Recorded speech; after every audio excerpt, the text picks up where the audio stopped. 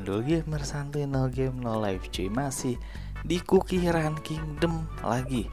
Yang di mana di video kali ini gue bakal coba kasih Ya sedikit leaks ya atau bocoran. Sebenarnya ini bocoran ini Bisa gue bilang bocoran yang Apa ya Bakalan lama gitu muncul ya Karena di bocoran ini kita bakal bisa ngelihat ya kalau misalkan untuk cookie dari squad dragon ya itu bakalan muncul cuy. Mungkin setelah Anif nanti anniversary abis ya karena event White Lily itu sekarang masih berjalan.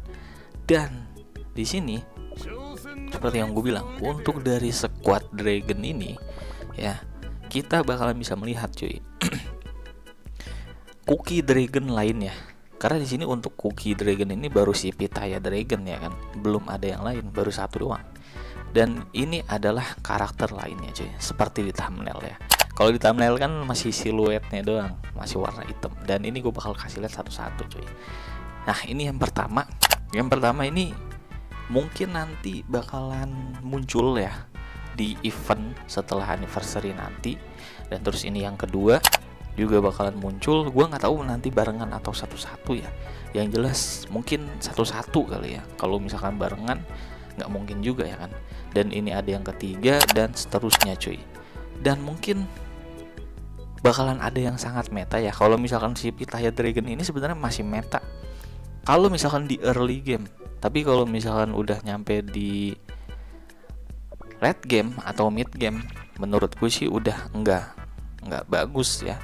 Nggak bagus-bagus banget gitu. Masih bagus tapi nggak bagus-bagus banget cuy. Kecuali kalian masih pakai di awal dan iya ini bocoran yang bisa dibilang nanti bakalan keluar. Untuk White Lily ini kan masih ada nih ya eventnya. Terus juga nih masih ada satu bulan lagi ya kan? Untuk si Mercurial. Soalnya di sini untuk Ancient untuk Ancient sendiri ini udah komplit semua. Itu butuh sekitar berapa ya? Satu tahun atau tiga tahun ya untuk mengkomplitkan karena ancient sekarang kan udah nyampe 5 ya.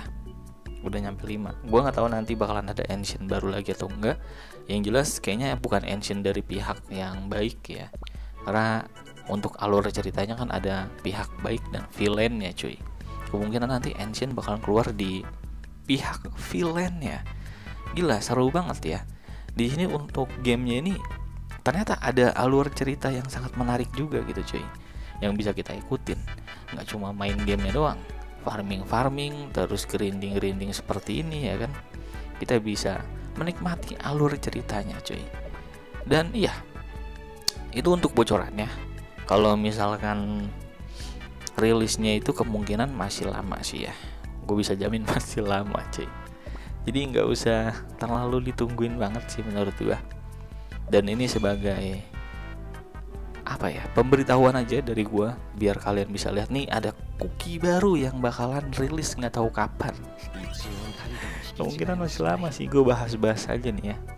Kalau dilihat dari desain karakternya sih gue suka banget sih ya untuk cookienya.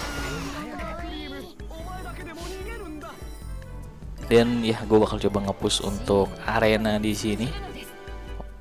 Karena ini untuk CP gue ini udah nyampe ke satu juta seratus ya sebenarnya di sini gue bisa naikin lagi sih untuk CP-nya kalau misalkan gue pakai Pitaya Dragon. Berapa nih? 1190 sama. Eh belum gue ganti ya.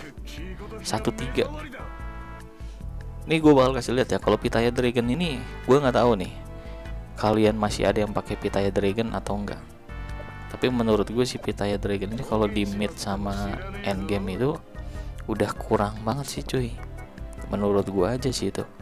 Kita coba lawan di sini nih. Satu juta tiga ratus. Let's go. Semoga aja nanti untuk yang dragon lainnya bisa jauh lebih OP dari si Pitaya sampai end game bahkan. Karena bakal menarik banget sih. Dan buat yang belum tahu si Pitaya Dragon ini sebenarnya di matchnya nggak terlalu sakit-sakit banget cuy. Dan bahkan dia gampang banget matinya cuy Anjir, lost skin gue udah mati ya.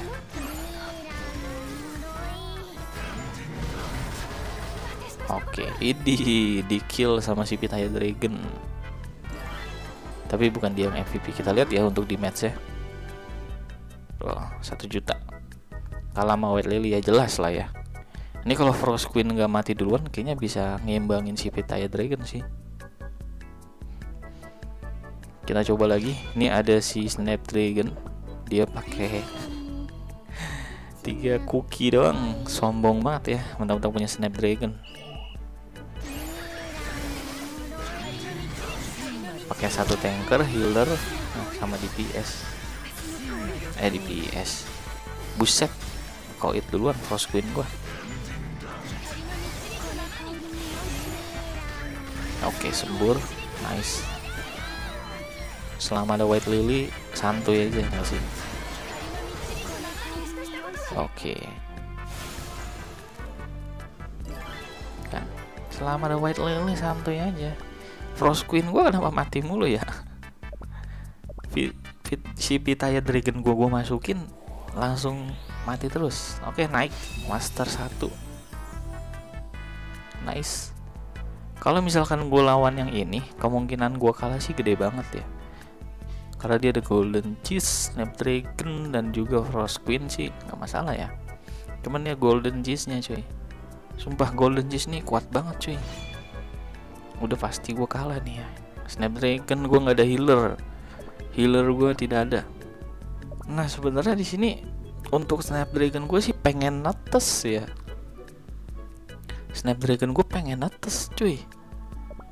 Tuh 900 nanggung banget anjir nggak netes netes gue bingung cara netesinnya gimana kadang orang tuh ada yang satu kali ya kan satu kali tuh udah bisa ini netes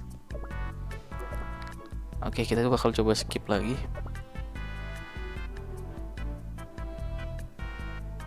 Ini masih ketemu musuh yang cupu. gue butuh healer doang sih. Jadi nanti gue fokusnya ke White Lily sama Frost Queen aja. Nah, si Vitaya Dragon gue bakal ganti sama Snap Dragon. Sama-sama sama-sama Dragon namanya. Tapi bukan masuk ke rank Dragon ya. Aneh banget. Buat kalian yang nggak punya healer sih saran gue bisa pakai pure vanilla sih. Tapi gue kurang suka aja gitu. Oke kita coba lawan. Berapa anjir? Satu juta ya kalau nggak salah satu juta dia tadi. Ada Gojo satu tuh Stardust oh ada healernya dia. Sakit banget. Stardustnya kuat juga loh. Di match apaan itu kayak gitu anjir. Kecil banget wow Frost Queen gua ya kan berapa nih 600 ribu kecil juga ya tapi dia MVP Oke, kita coba. Nah ini kita coba lawan nih satu juta lima ratus. Wow, Stardustnya keren nih skinnya. Gue suka banget anjir skinnya. Keren cuy. Anjay, hitam legam. hitam legam. Keren gila sih. Apalagi skinnya si Golden Kiss keren juga nih. Wow, kan warnanya emas. Frost Queen. Oh, kalian bisa lihat cuy di matchnya. Lumayan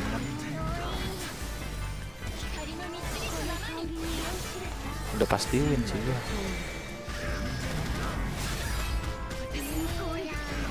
naga kecil ini songong banget rupanya oh, masih kuat dia Oke, Frost Queen lagi MVP iya kan. Sumpah Frost Queen tuh gokil sih. Gila gila gila.